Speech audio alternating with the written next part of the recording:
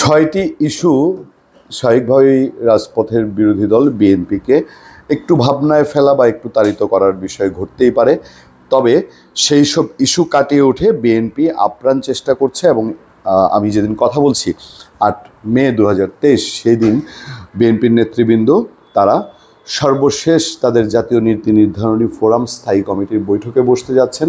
তাদের আন্দোলন এবং যুগপদ শরিকদের সাথে থাকা ঘোষণাপত্রটি চূড়ান্ত করার জন্য। মোটামুটি প্রতি সপ্তাহেই সোমবার দিন বিএনপি স্থায়ী কমিটি বৈঠকে বসে এবং সেখানে ভার্চুয়ালি তাদের শীর্ষ নেতৃবৃন্দ যোগ দেন এবং সেটি নিয়ে বিএনপি মহাসচিব পরবর্তী দিন বা তার পরের দিন সংবাদ সম্মেলনে মোটামুটি বিস্তারিত জানান। এখন বিএনপির সামনে ইস্যু কোনগুলো? ইস্যু হচ্ছে আন্দোলনের যৌথ রূপরেখা ঘোষণায় বিলম্ব, সমমনা জোট, গণতন্ত্র মঞ্চের ভাঙন। তারপর হচ্ছে দশ ডিসেম্বর ঢাকায় সফল বিভাগীয় সমাবেশে ব্যত্যয়। তারপর হচ্ছে ফের গায়েবী মামলার গ্রেফতার আতঙ্ক আতঙ্ক। এরপর বর্জনের সিদ্ধান্ত কার্যকর করতে পাঁচ সিটি কর্পোরেশন নেতাকর্মীকে ভোটে বিরত করা কতটা সম্ভব হবে?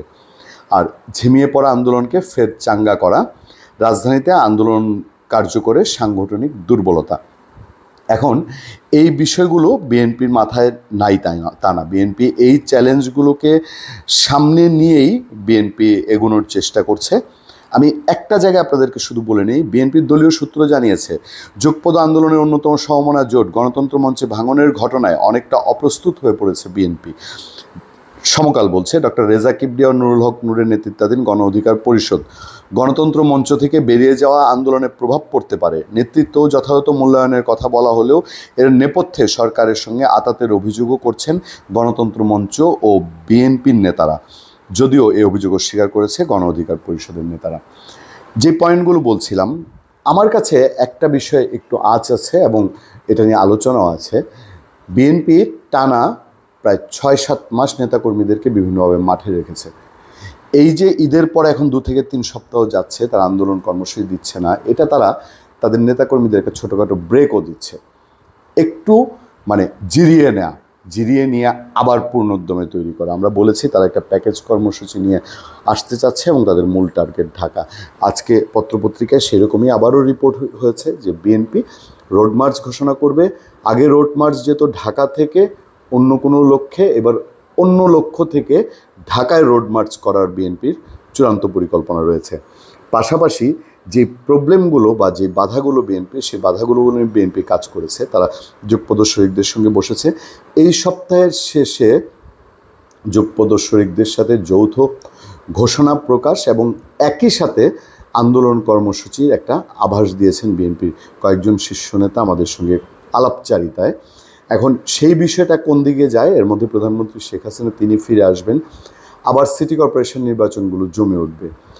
একইভাবে সিটি কর্পোরেশন নির্বাচনগুলো হতে হতে এর মধ্যে দিয়ে কোরবানি ঈদ আসবে।